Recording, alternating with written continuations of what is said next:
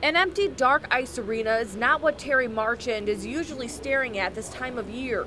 The Centre Ice executive director is waiting patiently for NHL owners and players to come to a contract agreement and head north to train at his rink. We're keeping our fingers crossed and, you know, we are hoping against hope and we're still ready for them if they come to an agreement and uh, it would be a, a, week from Saturday that they would be here, but uh, it doesn't look very promising. Red Wings prospect camp would have started tomorrow. It's already been canceled. If players are locked out, Centre Ice stands to lose a few hundred thousand dollars, a big blow to this nonprofit. It's big for us. Not only is it big, obviously financially, but you know it, we we really have a lot of pride in, in in the not only the NHL camp but the Red Wing camp. You know we put on a pretty good show and.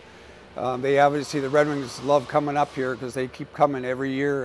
They're not the only business who stands to lose. Mancino's will also lose a major chunk of its revenue if the Red Wings don't come to town.